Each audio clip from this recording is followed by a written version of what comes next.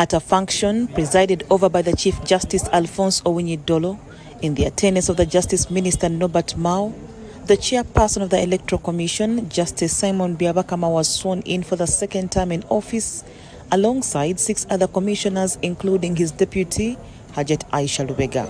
I, Simon Byabakama Mugenyi, having been appointed chairperson of the Electoral Commission, swear in the name of your mighty God that I will and truly exercise the functions of chairperson of the Electoral Commission in accordance with the Constitution and the laws of the Republic of Uganda without fear or favor. Aisha Lubega, having been appointed Deputy Chairperson of the Electoral Commission, solemnly affirm that I will well and truly exercise the functions of Deputy Chairperson of the Electoral Commission. After taking oath, Justice Byabakama made a commitment to Ugandans that the Commission will conduct free and fair elections in the country. I want to assure you that we are here to serve our country in accordance with the law and ensure that the elections we organize preserve the sanctity, the unity, and the peace and stability this country is known for. He emphasized impartiality and encouraged citizens to raise any concerns they may have to improve the elections and democracy entirely. In implementation of the law, our role is to make sure that we are impartial. We make sure that we treat everybody equally. All right? And that's why you have seen, even when the incumbent president comes as a candidate, he's also treated in the same way. We ask him also to get nominated. We ask him also to present supporters. Everything applies equally. So I want you, I want the people to be assured that when it comes to the need to provide a level ground, we shall ensure that is done in accordance with the law. The Minister of Justice and Constitutional Affairs, Norbert Mao, tasked the new commission to start with the Dokolo District Member of Parliament by-election, which is already behind schedule. There's a vacancy in Parliament.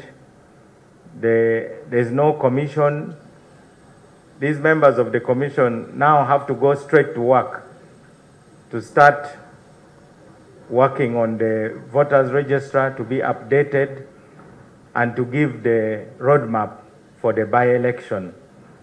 But the good thing is that you were flexible. Mao tasked the EC commissioners on transparency and credible elections, but pledged to defend the commission against unfair criticism. You are going to see your parents, mothers, fathers, brothers, and sisters being cast in very negative light in the media. You'll see cartoons of your loved ones, which really will be ridiculing them. So I thought I should tell you in advance that don't take it too seriously.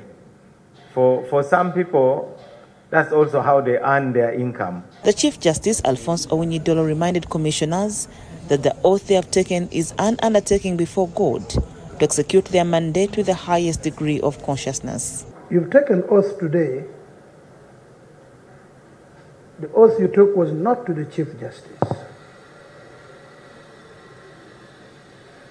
The Chief Justice is merely a witness that you've taken oath. The oath you took, each one of you, is a solemn undertaking before God.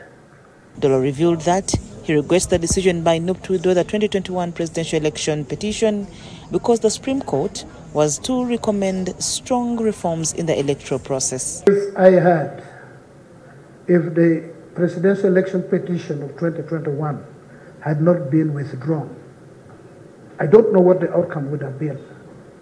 For me, whether it was going to be allowed or disallowed, one thing I was going to come out there, having read the pleadings, the Electoral Commission must be given funds beginning today to carry out civic education in this country.